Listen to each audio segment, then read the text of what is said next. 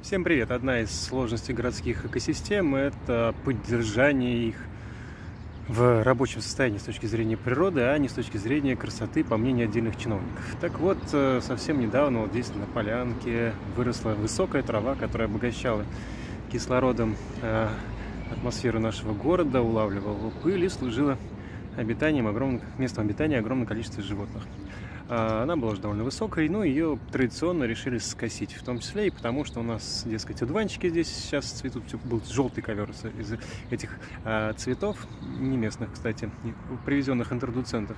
И чтобы избежать их так сказать, обильного плодоношения, в том числе была трава скошена. Ну и вот прошло 2-3 дня, мы видим, что одуванчики справились с этим, выросли, и, в общем-то, цель была не достигнута. Ну, а земля, газон теперь выглядит вот таким образом.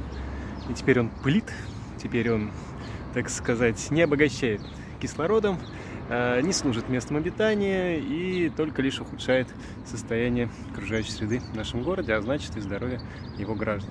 К счастью, в этом году, ну, в прошлом году случилось невероятное, и комитет э, по благоустройству прислушался к мнению экологов, сейчас можно заявить о э, оставить заявку для того, чтобы в вашем дворе или в районе появился луговой газон, который бы не косили этими страшными жужжалками или косили ну, так, как это необходимо, там, раз в год максимум, вот, чтобы подобных вещей избежать.